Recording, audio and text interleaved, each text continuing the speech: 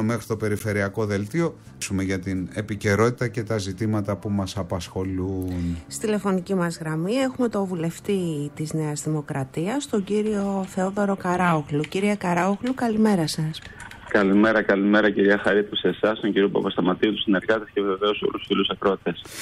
Ε, αντευχόμαστε. Πώς, ε, πώς θα πάτε με την ε, επερχόμενη ζέστη, γιατί ακόμη δεν έχει δεν έχει έρθει να πιστοποιήσει τις προβλέψεις ναι. των μετεωρολόγων.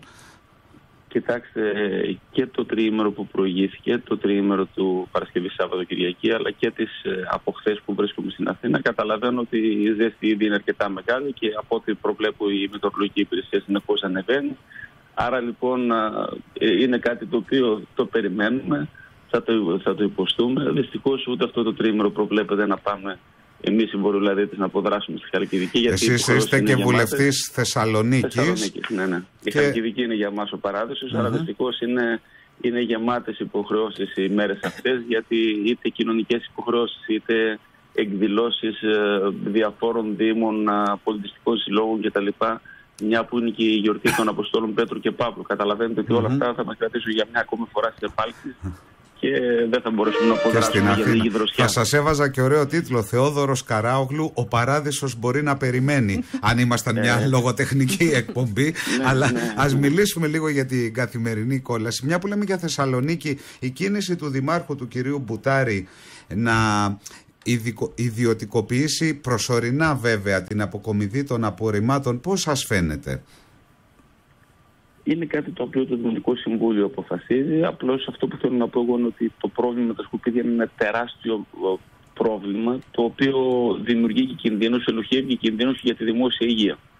Θα έπρεπε ήδη η απεργία να έχει λήξει, θα έπρεπε η κυβέρνηση να μην έχει εξωθήσει τα πράγματα στα άκρα έτσι ώστε να επιμένουν οι απεργοί να συνεχίζουν την απεργία. Τι άλλο να τους δώσει, κύριε Καράουγλου, για να τη σταματήσουν; Ε, Ίσως ο κύριος Κουρλέτη, σαν το ξινό του πρόσωπο του άλλαζε με ένα χαμόγελο και ήταν πιο φιλικός απέναντι στην περιφορά του από την πρώτη μέρα που τους είδε. Λέτε ότι το χαμόγελο ζητούν, γιατί λένε ότι εμείς θέλουμε τη μονιμοποίηση όλων. Εσείς θα συμφωνούσατε σε αυτό; Διαβάζω, από ό,τι διαβάζω από τους εκπροσώπους που ΕΟΤΑ, όταν συναντηθήκαν, τους είπε ότι είναι μαριονέτες διαφόρων κομμάτων, τους είπε χίλια δύο άλλα πράγματα. Νομίζω ότι δεν γίνεται με αυτόν τον τρόπο. Ο κύριος Τσίπρας πάντως δεν τους είπε τέτοια στο χθεσινό ραντεβού. Ήταν διαφορετικός, συνέδειξε ένα καλό πρόσωπο. Και γι' αυτό το λόγο άλλωστε συζητήθηκε επί της ουσίας η πρότασή του. Εν πάση περιπτώσει, εγώ πιστεύω ότι η απεργία αυτή έπρεπε και μπορούσε να αποφευθεί. Σαφέστατα υπάρχουν ευθύνες και ειδικότερα από τον αρμόδιο υπουργό, τον κ. Σποχλέτη, ο οποίος χειρίστηκε το όλο θέμα και εξώθησε τα πράγματα στα άκρα. Και βεβαίως, ε, για να μην κρυβόμαστε πίσω από το δάχτυλό μας, ο κ. Σποχλέτη δεν είναι ένα μεμονωμένο πρόσωπο, εκπροσωπεί μια κυβέρνηση. Οι ευθύνες για το χειρισμό και για το διέξοδο στο οποίο οδηγηθήκαμε είναι καθαρά και αποκλειστικά της κυβέρνησης συνολικά. Αν η κυβέρνηση δεν έκλεινε το μάτι ε, όταν τελειώναν οι συμβάσεις των ε, συμβασιούχων και τους έλεγε ότι ε, έχει τελειώσει η σύμβασή σου. Όταν κάποιος προσλαμβάνεται ως εποχικός, προσλαμβάνεται ως εποχικός για τέσσερις μήνες, για πέντε μήνες, για οχτώ μήνες και πρέπει να το ξέρει αυτό. Λοιπόν, η κυβέρνηση όμως δύο φορές με τον κύριο Βερναδάκη, με, Βερναδάκη στο παρελθόν και με την uh, νέα υπουργό τώρα, την uh, κυρία... Αχτσιόκλου. Uh, συγγνώμη. την υπουργό επικρατείας, την κυρία... Θα θυμηθώ το όνομα. Την κυρία Γεροβασίλη. Γεροβασίλη. Λοιπόν, mm. ανανέωσε τις συμβάσεις αυτές παράνομα, παράτυπα, όταν υπήρχε ομόφωνη απόφαση του Ελεκτικού Συνεδρίου ότι δεν μπορούν να ανανεωθούν οι συμβάσεις. Δεν είχε βγει λόγο... απόφαση του Ελεκτικού Συνεδρίου. Είχε, είχε διαρρεύσει η απόφαση. Είχε διαρρεύσει, ωραία. Η διαρροή δεν σημαίνει ότι είναι, έχουμε και την απόφαση μπροστά μας. Λέτε δηλαδή ότι αν τους είχε διώξει τότε δεν θα είχαμε κινητοποιήσεις; Προσέξτε, είναι διαφορετικά όταν ένας άνθρωπος δουλεύει για ένα οχτάμινο και ξέρει ότι θα φύγει και φεύγει, και είναι διαφορετικά όταν δουλεύει για δύο ή τρία χρόνια, γιατί πλέον μπαίνουν μέσα στο μυαλό του ανθρώπου αυτού και λογικό είναι και αυτονόητο. Μια προσμονή. Ε, μια προσμονή. Αλλά αυτή δεν είχε καλλιεργηθεί, κύριε Καράγλου, η προσμονή και τα προηγούμενα χρόνια. Θέλω να πω, δεν είναι η πρώτη φορά που αντιμετωπίζουμε θέμα συμβασιούχων ε, και στην τοπική αυτοδιοίκηση και στη χώρα. Θυμίζω τότε το διάταγμα ναι. του κυρίου Παυλόπουλου που ήρθε να θεραπεύσει μια μεγάλη πληγή σε σχέση με, τη, με την ναι, κατάχρηση των συμβασιούχων.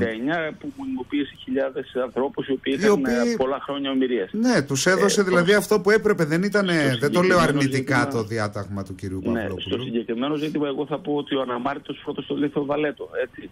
Ε, πράγματι και στα προηγούμενα χρόνια και με κυβερνήσεις δικές μας πολύ λιγότερο και με κυβερνήσεις του Πασόκ πολύ περισσότερο, είναι ο πρώτος διτάκτης γινόντουσαν αυτά τα πράγματα. Αλλά η κυβέρνηση η οποία ήρθε να διορθώσει αυτά τα πράγματα και η οποία μιλούσε για το ήθος και για το ηθικό πλεονέκτημα και για όλα αυτά, για ποιο λόγο εγκλώβησε χιλιάδες ανθρώπους αυτή τη λογική; Για ποιο λόγο δεν έκανε το αυτονόητο, αυτό το οποίο επιβάλλεται από το ίδιο το Σύνταγμα και τους νόμους; Τι λέει το Σύνταγμα, δηλαδή, ότι υπάρχουν εκτός από τους μόνιμους δημοσίους υπαλλήλους, υπάρχουν και εποχικοί. Mm-hmm. Είναι λογικό αυτό να υπάρχουν και εποχικοί εργαζόμενοι. Και αυτός στους δασοπυροσβέστες είναι προφανέστατο, αλλά στην καθαριότητα, μας έλεγε πριν ο Δήμαρχος Αγίας Παρασκευής, έχει και ναι 40 οργανικές θέσεις. Ναι, μιλάτε για το Δήμο Αγίας Παρασκευής. Για παράδειγμα. για παράδειγμα, ναι. λέω για το Δήμο Συθωνία Χαλκιδικής. Mm-hmm. Το δεύτερο πόδι είναι, ο οποίος με βάση στοιχεία συγκεκριμένα το χειμώνα έχει 20.000 κατοίκους και έχει καμιά mm-hmm. 25 εργαζόμενους. Άρα αυτός τους παίρνει για το καλοκαίρι, γιατί έχει τους τουρίστες. Ναι.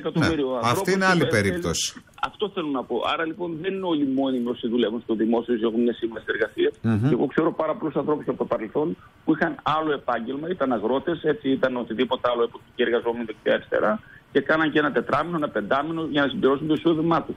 Λοιπόν, θέλω να πω ότι είναι κάτι το οποίο προβλέπεται. Δεν είναι κάτι το κακό. Ούτε πρέπει υποχρεωτικά όλοι να γίνουν δημόσιοι πάλι, γιατί τότε ποιος θα δουλεύει να πληρώνει αυτό που Όχι. γίνει δημόσιοι Αλλά πιστεύετε ότι η καθαριότητα στους Δήμους πρέπει να διατηρήσει το δημόσιο χαρακτήρα της; Ε, δεν είναι απόλυτος αυτό. Δεν μπορώ να καταλάβω γιατί σε μια δημοκρατία δεν πρέπει να αποφασίζουν οι δήμαρχοι, τα δημοτικά συμβούλια, ποιος θα κάνει καλύτερα την καθαριότητα. Μάλιστα. Αν υπάρχουν δήμοι, άκουγα χθες ε, σε ένα ραδιοφωνικό σταθμό προχθές, μάλλον της πόλης της Θεσσαλονίκης, ναι. ότι ο Δήμαρχος Ρόδου έδινε μια συνέντευξη και έλεγε ότι υπάρχουν ιδιώτες στην καθαριότητα στο Δήμο του και ότι όλα είναι ευχαριστημένοι, όλοι είναι ευχαριστημένοι και δεν υπάρχει κανένα πρόβλημα. Μάλιστα. Και όχι μόνο αυτό, και σε άλλους Δήμους, εγώ ξέρω, όπου κάποιοι δήμαρχοι έχουν δώσει έστω ένα κομμάτι της καθαριότητας σε ιδιώτες και πάνε όλα καλά. Και συμπράττει δηλαδή... ο δημόσιος με τον ιδιωτικό. Πιστεύετε όμως ότι αν τα λέγατε αυτά, κύριε Καράογλου, στην ΠΟΕ, ο θα σταμάταγε την απεργία; Γιατί λέμε τώρα για τους χειρισμούς της κυβέρνησης. Δεν θα σταμάταγε, ούτε είμαι εγώ αυτός ο οποίος θα δώσει τη λύση, γιατί αυτό είναι ένα ζήτημα το οποίο αφορά κυρίως την τοπική αυτοδιοίκηση και η τοπική αυτοδιοίκηση θα πρέπει να ξεκαθαρίσει και αυτή τι ακριβώς θέλει. Εν πάση περιπτώσει, ότι φτάσαμε σε αυτό το αδιέξοδο που έχουμε φτάσει τώρα και ότι έχουμε τα, τα σκουπίδια βουνά έξω από τα, από τα σπίτια μας, mm-hmm. προφανώς υπάρχουν ευθύνες κυβερνητικές, οι οποίες, επαναλαμβάνω, ε, συνίστανται ότι η κυβέρνηση έκλεινε το μάτι λέγοντάς τους ότι εντάξει θα τα σας τακτοποιήσουμε κτλ. Παρ' όλα αυτά, κύριε. Δηλαδή η κυβέρνηση ναι. να δημιουργήσει έναν, έναν πελατειακό στρατό τον οποίο θα τον έχει όμοιρο μέχρι τις εκλογές, με την υπόσχεση ότι αύριο εγώ θα σε μονιμοποιήσω σε σχέση με τα άλλα κόμματα που δεν θέλουν αυτό το πράγμα κτλ. Κύριε Καράοχλου, παρόλα αυτά, θυμάμαι τον κύριο Σκουρλέτη και όλο αυτό που είχε δημιουργηθεί στη Βουλή, όταν ο κύριος Σκουρλέτης είχε ζητήσει από όλα τα κόμματα να, βρει, να βρείτε όλοι μαζί μία λύση για τους συμβασιούχους συνολικά αυτό το θέμα θα πρέπει να προχωρήσει. Δηλαδή να, να το δούμε πια σε επίπεδο εθνικό και όχι απαραίτητα ε, κομματικών χαρακομμάτων. Γιατί υπάρχει και σε άλλους τομείς αυτό, δεν είναι δηλαδή. Τώρα έχει προκύψει ναι. με πολύ μεγάλη ένταση. Είναι πρωτόγνωρο αυτό. Μια κυβέρνηση η οποία στο παρελθόν όταν ήταν αντιπολίτευση δεν ψήφισε ποτέ τίποτα, ποτέ τίποτα και ήταν πάντα στα χαρακόμματα και ήταν μέσα στους περίφημους αγανακτισμένους. Αλήθεια που χάθηκαν αυτοί οι αγανακτισμένοι. Τώρα γίνανε όλοι ευτυχισμένοι ή διορισμένοι. Έχει ζέστη μάλλον και δεν μπορούν να βγουν. Όχι, όχι. Έχει δυόμιση χρόνια τώρα που οι αγανακτισμένοι έχουν μετατραπεί σε ευτυχισμένους διορισμένους και είναι όλα όμορφα και ωραία. Λοιπόν, η κυβέρνηση λοιπόν αυτή που ως κόμμα της αντιπολίτευσης έκανε όλα αυτά, ξαφνικά παίρνει θέση και λέει ότι για όλα υπάρχει εθνική συνεννόηση και για όλα πρέπει να συμφωνήσουμε. Μα ποιος κυβερνάει; Αν η κυβέρνηση αυτή, η συγκεκριμένη ΣΥΡΙΖΑ ΝΕΛ, δεν μπορεί να κυβερνήσει, ας κάνει το αυτονόητο, ας προκηρύξει εκλογές αύριο, να παραιτηθεί να προκηρύξει εκλογές mm-hmm. και από εκεί πέρα ο λαός θα δώσει τη λύση. Τη δημοκρατία δεν και μετά δεν θα υπάρξουν συνεργασίες, εκτιμάτε. Ε, Βεβαίως και θα υπάρξουν. Βεβαίως και θα υπάρξουν και θα βρεθούν λύσεις. Αλλά στη δημοκρατία δεν κυβερνάμε όλοι μαζί και όταν είναι τα δύσκολα αυτή η αντιπολίτευση. Η κυβέρνηση τι κάνει, δηλαδή, κάνει συνδικαλισμό απέναντι στην Δημοκρατία και στα άλλα κόμματα της αντιπολίτευσης. Η κυβέρνηση δημιούργησε το πρόβλημα η κυβέρνηση οφείλει να το λύσει. Μάλιστα. Η Νέα Δημοκρατία κατέθεσε χθες για το Πρόεδρο της υπεύθυνη συγκεκριμένη πρόταση. Από εκεί πέρα δεν κυβερνούμε εμείς, δεν είμαστε συνυπεύθυνοι εμείς. Η κυβέρνηση είναι υπεύθυνη για το χάρτη το σημερινό και για τα προβλήματα με τα σκουπίδια που υπάρχουν. Α πάρει τις πρωτοβουλίες λοιπόν που πρέπει. Επαναλαμβάνω, αν ο κ. Κουρλέτης δεν έχει το γνωστό στυλάκι και το γνωστό εφάκι και δεν χρησιμοποιούσε το λεξιλόγιο που χρησιμοποίησε σε βάρος των απεργών. Εγώ δεν συμφωνώ με την απεργία τους, αλλά από εκεί πέρα δεν σημαίνει αυτό ότι όταν δέχεις έναν άνθρωπο με τον οποίο διαφωνείς, θα πρέπει να έχει μια συμπεριφορά αυταρχική, αλαζονική και ηρωνική.